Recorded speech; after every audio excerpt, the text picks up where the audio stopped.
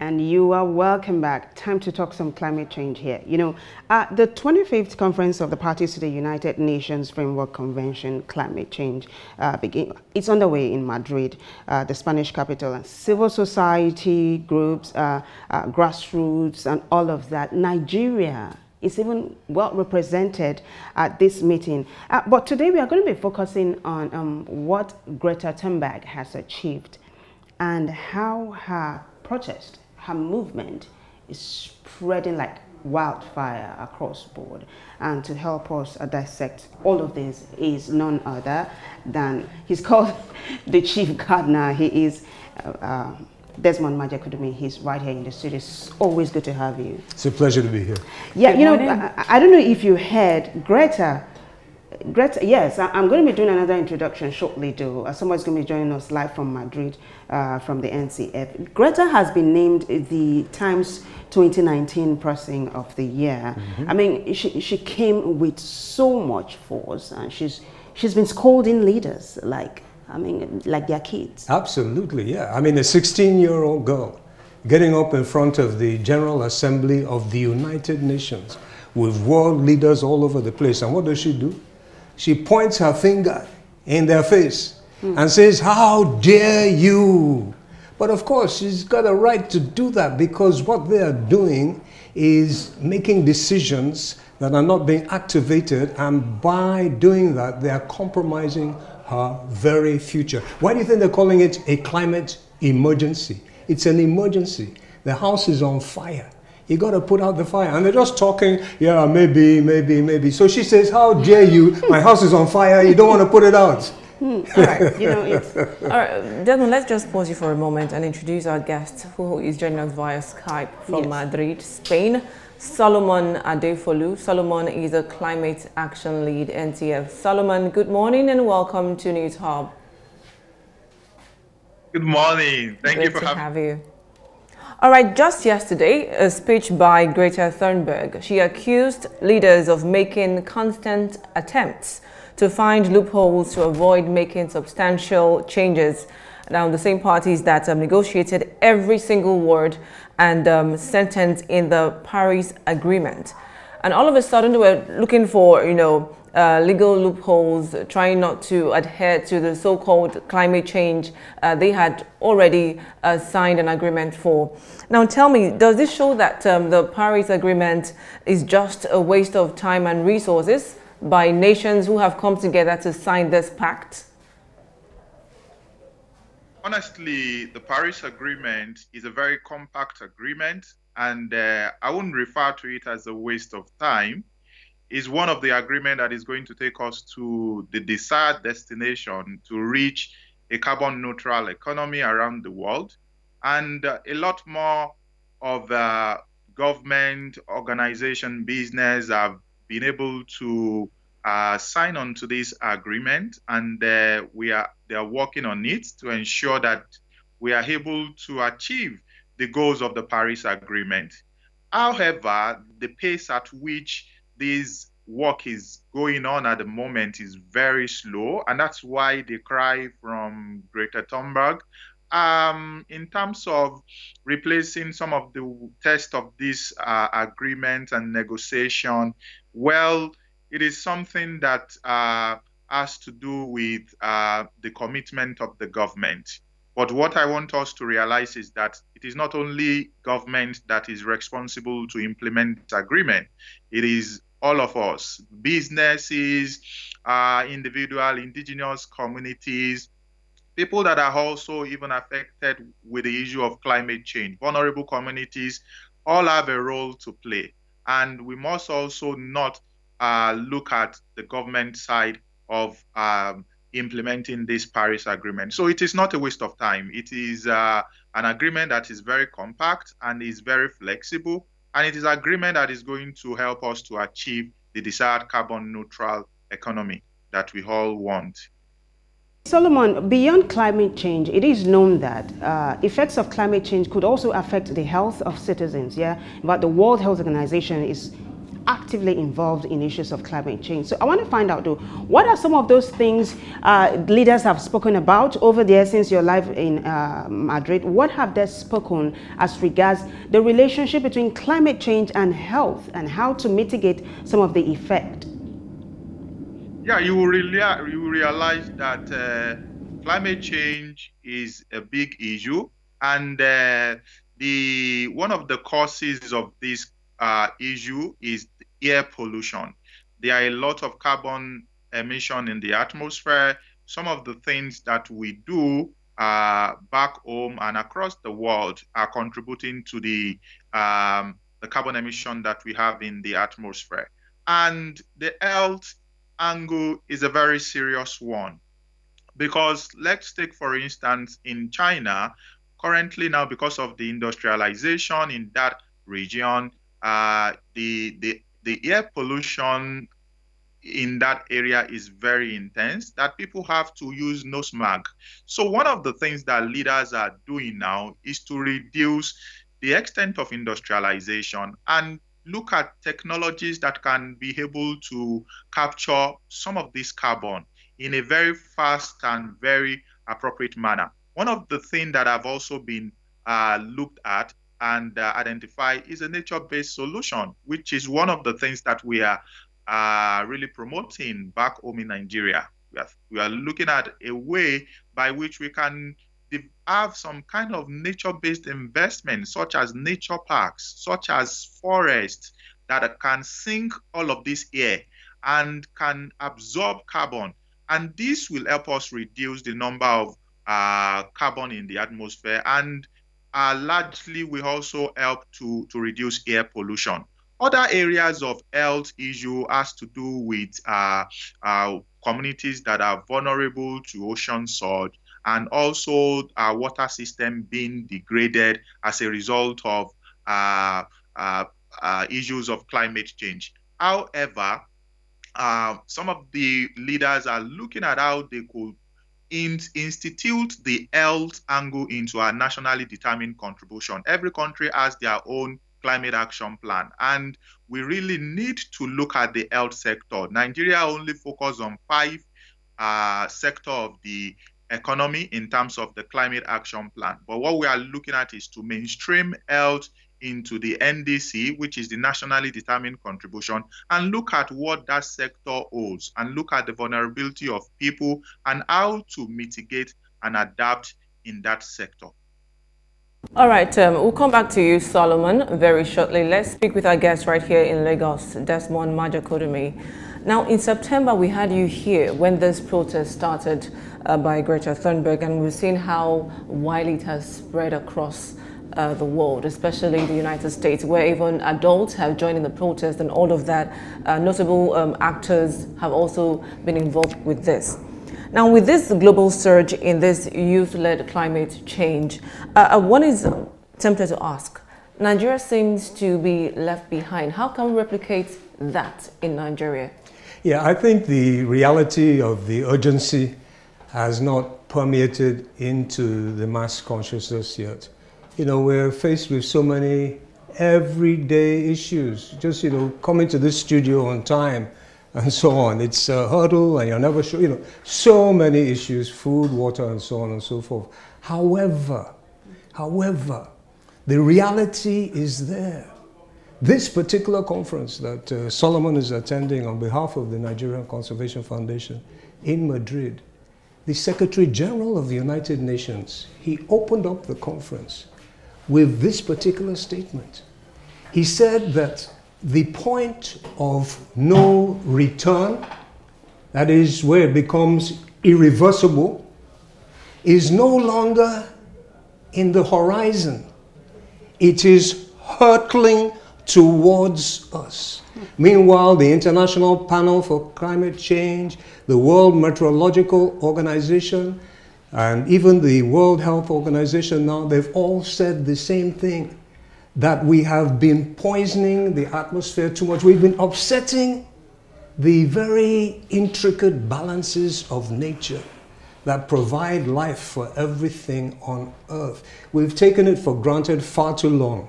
and we're upsetting it. There's only a few more years before this point of no return comes and it becomes irreversible. Already, places like Lagos mm. are under serious threat. And we need to take what they call adaptation measures, protect the place, protect Lagos. Otherwise, we're going to see far, far worse floods than what we've had. So I think it's down to the media now and luckily, some of the international media organizations are really spreading it. This particular organization has been doing a pretty good job on a regular basis, but it needs to be far more intensive to let people know the urgency and the gravity of the situation. It is, as they say, like our house is on fire. It's just that it's a slow fire. Hmm. But if you ignore it, eventually it's like a keg of petrol in the house. And even though it's a slow fire, once it hits that keg of petrol, boom. God forbid this shall be our destiny. I didn't hear amen. Oh, well, well amen to that, really. Amen, a big amen to that, because it looks like um, it looks like the government is dragging their yes. feet on this matter. Yes. It feels like they have another planet they can go to There's when no. when the explosion happens and then we're left to nowhere. Is there a place they're going to that we don't know about? There's no option B. We've got to stay here yeah. and just be caretakers of the creation. It's not that difficult. But you know what gives me tremendous optimism as a Nigerian? The other day, just uh, two days ago, I gave a lecture. There were several hundred people in the room. I said, okay, Raise your hand if you believe in God. Everybody raised their hand. If I was giving that lecture in one of the European countries, do you know that maybe only 50% of those people would raise their hands saying they believe in God? Mm -hmm. So, Nigerians believing in God, I feel that we shall follow the scriptures. And the scriptures are very, very clear. In the Holy Quran, it says we are caliphs, that is, we are caretakers. And there's many references in the Holy Quran about how we should be caring for the creation, let alone in the Holy Bible. Hmm. It's all over the place. In Genesis, it starts and he says, He created, let there be light. And what did he say? He saw that the light was good. And he continued through Genesis. At the end of the creation, he said he saw that the creation is very good. So when we get that through our heads and we're doing something with the NCF, there's going to be a big movement next year with the faith leaders mm. to advocate this from the pulpit that if we love the Creator mm. and He says His creation is good and we're damaging the creation, then we're falling foul of our Creator. And I believe that Nigerians will do the right thing because we believe there's a God and we love our God. Absolutely. You, you talked about the point of no return earlier on. Yeah, this is what uh, Greta said at COP25. She said, we are desperate for any sign of hope. And then she says, I've given many speeches and learned that when you talk in public, she's referring to herself now, and you start with something personal or emotional like, uh, our house is on fire, or I want you to panic, or how dare you. She said that is what people will focus on. But what, what she wants today is that action. People should, be, leaders should begin to act yeah, and not just coming exactly. to COP uh, every year yeah, after talking, year. Talking, yeah. receiving the travel allowance and yes. No, it's gone way beyond that. There has to be concerted and definitive action. Mm. And we need to say, okay, ecology fund money, what's it being used for? Is uh, hundreds of billions, have they come to protect the Lagos shoreline, which is terribly, terribly threatened? Is the ecology fund money being used effectively for planting trees, the green wall of the desert? What's happening with that green wall of the desert. It was supposed to have come up several years ago to today. It's moribund. What's going on? The people need to hold the government accountable because, because our very future is at stake. It's a turning point, and we really have to start doing the right thing. Otherwise, we're all going to suffer, but particularly our children. And that gives me hope as well, because nobody wants to see, nobody in their right mind wants to see their children suffering. All right, let's head back to our guest via Skype, Solomon Adefolu. Uh, Solomon in Madrid. I don't know if um, countries like India and China are represented at this meeting because they are high emitting countries. And Nigeria is also one of them, even though we're not as uh, bad as China and India. But I want to know, what do they stand to lose if they should abide by this Paris Agreement? The good news is that those two countries you mentioned are well represented. In fact, I was at the Indian Pavilion uh, some days ago. It was a very lovely pavilion with LED uh, screen around. They are hooked to the Paris Agreement, and uh, considering the fact that they are in the Paris Agreement, they are also uh, willing to oblige to the rules and regulation. Um, currently, India is doing a lot. China is also doing a lot in terms of reducing carbon within their economy. And uh, honestly, in uh, China is putting a lot of money into the global green uh, funds for climate change, which is called the Green Climate Fund, and that is a, a lot more commitment, financial commitment uh, that that we really want. The replenishing uh, Green Fund is uh, hundred billion dollar in a year, and Indian is putting their uh, Indian and China they are putting their commitment in terms of uh, financing the the, the the the the climate fund, and which is going to be used for uh, delivering climate action around the world. So that a lot that kind of commitment is is is is very commendable and is something that we wish other developed countries uh, can actually do owing to the fact that India and China are still uh, uh, developing. But however, there is a strong commitment to them uh, to deliver climate action fund. Yeah, um, I understand that money meant for Nigeria at some point was returned back because of uh, the method of collection. Nigeria has not been able to collect this money because they've not applied correctly. Which brings me to this question. Are you attending in different small, small groups or are you coming together as one formidable force from Nigeria?